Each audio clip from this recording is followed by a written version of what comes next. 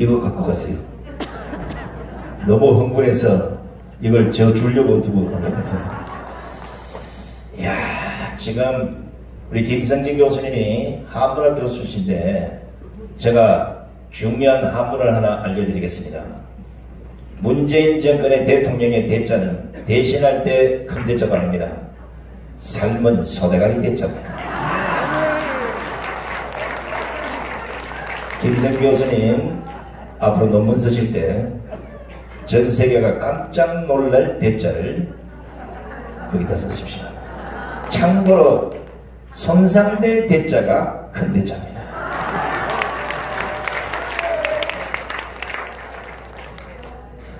자, 제가 방송이나 집회 현장에서 우리나라 10대, 20대, 30대, 40대 제발 침묵에서 좀 벗어나라고 수도 없이 외치고 있습니다.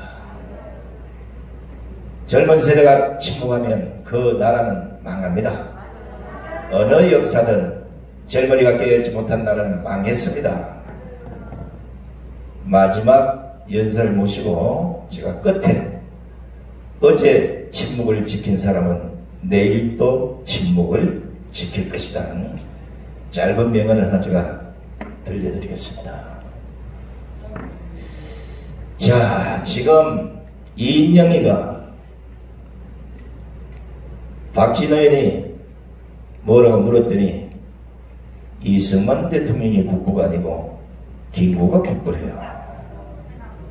제가 감옥에서 김구가 됐든 이승만 대통령이 됐든 책을 다 읽어봤는데 김구는 절대 안 되는 범죄 행위를 했습니다. 이걸 역사가 빨갱이들이 전부 다 바꿔서 영웅처럼 만드는 그 과정이 있습니다. 우리도 가만히 있어라 박원순이가 지금 어디 있지? 오늘 저녁에 아마 기도해서 하나님 좀 물어봐야 돼요. 지금 지옥에도 갈 수가 없어요. 지옥 밑에 뭘 따로 만들어놨다 그래요.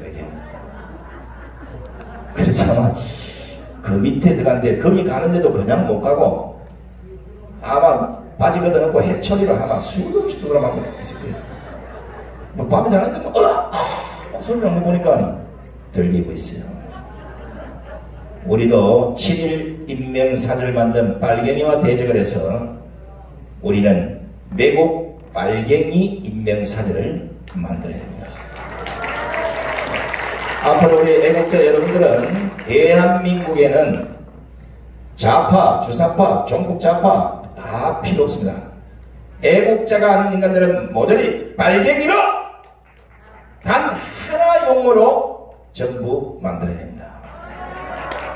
이걸 잘못 만들어서 젊은 아이들이 사주의자, 공산주의자, 뭐 전체주의자, 뭐 좌파, 종북 이러니까 야, 그 말갱이까지 가려면 이거 몇십 년 걸리나 보다 이렇게 생각한단 말이에요. 정교적 교육을 받는 그 순간부터 그들의 머릿속에는 빨간 물이 차서 말갱이가 바로 된다는 걸 이제는 주입시켜야 됩니다. 좌파, 주사파 얘기를 쓰지 마세요. 자, 이런 빨갱이를 평생 때려잡았는데 지금까지 한 5천 명 정도는 때려잡은 것 같아요. 우리 이승만 기념사 앞에